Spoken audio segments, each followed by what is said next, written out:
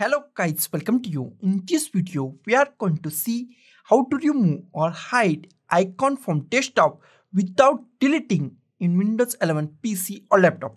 On my desktop, we find many icons and I want to remove or hide that icon and I don't want to remove or delete any software from PC. I want to delete just that icon. So go to the icon that you want to remove or hide I want to remove or hide VLC, go to the that icon, right click on that icon.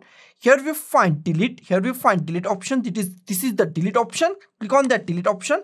It's removed from the your desktop, but it is not completely removed. Go to the start and type your icon name or the software name and click on that software. In this case, I click on the VLC and your software is open in your Windows 11 PC or laptop. So guys, this is the simplest way to remove or hide icon from the desktop without deleting it in Windows 11 PC or laptop. So guys, thank you for watching this video. Don't forget to like, share, comment on this video and don't forget to subscribe the channel.